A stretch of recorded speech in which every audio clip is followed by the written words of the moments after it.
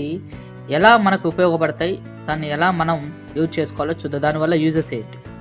First idea వచ్చేసి what is your dream అంటే మీ కళ ఏంటి? జనరల్గా ఒక నెలలో ఒక రోజు ఒక ఒకటిన్నర గంటలు మొక్కలకు నీరు పోయడం మంచిదా? లేకపోతే రోజుకు ఐదు నిమిషాలు మొక్కలకు నీరు పోయడం మంచిదా? అంటే వా- నెలలో ఒక రోజు మొక్కలకు నీరు పోయడం కంటే రోజు ఐదు నిమిషాలు మొక్కలకు నీరు పోయడం. ఒకసారి మూడు మైళ్ళు పరిగెత్తడం కన్నా దాన్ని ఒక్కొక్కసారి ఒక్కొక్క మైలు పరిగెత్తడం మంచిది. అంటే చూడండి మనం ఎప్పుడైనా చదవాలనుకున్నప్పుడు కంటిన్యూస్గా కూర్చొని త్రీ అవర్స్ కంటిన్యూస్గా చదవడం కన్నా ఆ త్రీ అవర్స్ని డివైడ్ చేసుకొని వన్ వన్ అవర్ వన్ అవర్గా డివైడ్ చేసుకోవడం చదవడం మంచిది. సో ఈ ప్రాసెస్ని మనం డిస్ట్రిబ్యూటెడ్ లెర్నింగ్ ప్రాసెస్ అంటారు. అంటే ఈ పద్ధతి ద్వారా మనకు ఫార్టీ సిక్స్ పర్సంటేజ్ మనకు మైండ్ యొక్క స్టడీ ఇంప్రూవ్మెంట్ మైండ్ యొక్క పవర్ అనేది ఇంప్రూవ్మెంట్ అవుతుంది. బాగా గుర్తుండిపోవడం జరుగుతుంది. ఫార్టీ సిక్స్ పర్సెంటేజ్ పర్ఫార్మెన్స్ అనేది పెరుగుతుంది. దీనికి కారణం ఏంటంటే మనం ఏదైనా ఒక మూవీకి వెళ్ళినప్పుడు స్టార్టింగ్ సీను మరియు ఎండింగ్ సీను మనకు బాగా గుర్తుండిపోతుంది. మధ్యలో వచ్చే సీన్స్తో కంపారిజన్ చేసుకున్నప్పుడు ఆ రెండు సీన్స్ బాగా ఎందుకంటే స్టేషన్ ఎంత చిన్నగా ఉంటే అంత బాగా గుర్తుండిపోతూ ఉంటుంది. ఓకేనా? సో మీరు మధ్యలో ఈ స్టడీ బ్రేక్స్ తీసుకోవడం వల్ల మధ్యలో కొంత మర్చిపోవడం జరుగుతుంది. అప్పుడు వాటిని రీకాల్ చేయడం వల్ల పర్మనెంట్గా గుర్తుండిపోతూ ఉంటుంది సో నెక్స్ట్ స్టెప్ వచ్చేసి so untested fluency is an illusion మనం ఏదన్నా ఒక టాపిక్ని చదువుతున్న చదువుతున్నప్పుడు సరే ఇది మనకు అర్థమైంది ఇది గుర్తుంటుంది అని అనిపిస్తుంది. వెంటనే మనం ఏం చేస్తాం? వేరే చదవడం జరుగుతుంది. కానీ ఒకవేళ అవి ఎగ్జామ్లో వస్తే మనం వాటిని గుర్తు తెచ్చుకోలేకపోవడం జరుగుతూ ఉంటుంది. ఓకేనా? అయితే దీనినే మనం ఫ్లూయెన్సీ ఇల్యూజన్ అంటారు.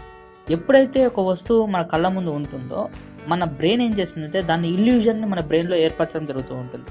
అయితే అది ఏంటంటే ఇది మనకు గుర్తుండిపోతుంది అని అని ఊహ అనేది క్రియేట్ కానీ నిజానికి అది మనకు గుర్తు ఉండదు.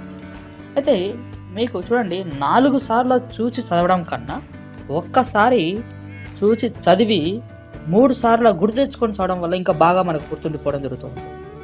సో ఇలా చేయాలంటే చాలా కష్టం. అందువల్ల మనం చాలా వరకు దీన్ని ప్రాసెస్ని ఎస్కేప్ చేయడానికి ప్రయత్నించడం జరుగుతుంది. ఫ్లూయెన్సీ ఇల్యూజన్ని అవాయిడ్ చేయాలి ఫస్ట్. సో ట్వంటీ పర్సెంటేజ్ చదవాలి ఎయిటీ పర్సెంటేజ్ రీకాల్ చేసుకోవాలి. సో అలా చేయడం వల్ల మనకు బాగా గుర్తుండిపోవడం జరుగుతుంది. నెక్స్ట్ మూడో టిప్ వచ్చేసి చేంజెస్ ఈజ్ గుడ్. అయితే నేను చిన్నప్పటి నుంచి వింటున్నది ఏంటంటే మీరు చదవడం కోసం ఒక ఫిక్స్ టైం పెట్టుకోండి. పలానా టైంలో మీరు చదివితే మంచిది పలానా టైంలో చదవకూడదు అని చెప్తూ ఉంటారు మన పెద్దలు. కానీ సైన్స్ మాత్రం మనకు వేరే చెప్తుంది. ఏంటంటే ఒక పరిశీలనలో తేలిన విషయం ఏంటంటే రెండు గ్రూపుల స్టూడెంట్స్ని తీసుకున్నారు. వాళ్ళకు ఒక టెస్ట్ చేయడం జరిగింది. ఒక యాభై వర్డ్స్ రెండు గ్రూపులకు ఇచ్చారు. ఒక గ్రూప్నేమో ఒకే రూమ్లో కూర్చొని ఆ యాభై వర్డ్స్ పది నిమిషాల్లో చదవమని చెప్పారు. అదే పది నిమిషాలు వీళ్ళను డిఫరెంట్ రూమ్స్లో కూర్చోబెట్టి రూమ్లు చేంజ్ చేస్తూ చదవమని చెప్పారు. అయితే ఇక్కడ చూడండి మొదటి గ్రూప్ వాళ్ళు మనకు ఆ ఇచ్చిన టైంలో సిక్స్టీన్ వర్డ్స్ యాభై వర్డ్స్ కానీ సిక్స్టీన్ వర్డ్స్ చెప్పడం జరిగింది. రెండో గ్రూప్ పిల్లలు twenty four words fifty words కానీ చెప్పడం జరిగింది. అంటే ఇక్కడ మనకు సగానికి సగం చెప్పడం జరుగుతుంది.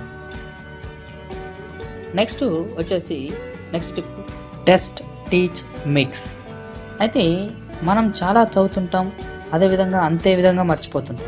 దాని నుండి మనం బయటపడాలంటే మీరు చదివిన దాన్ని టెస్ట్ చేసుకోవాలి. దానిని వెంటనే టెస్ట్ చేయాలి. ఎలా అంటే ఒక మీరు చదివిన తర్వాత బుక్ మూసేసి మనకు మనమే దాని గురించి ప్రశ్నలు ఎంచుకోవాలి నెక్స్ట్ అండ్ టీచ్ మనం చదివిన దాన్ని మనం మన ఫ్రెండ్స్తో కాటి లేకపోతే మన ఫ్యామిలీ మెంబర్స్తో కాటి మనం డిస్కషన్ చేసుకోవాలి. ఓకేనా?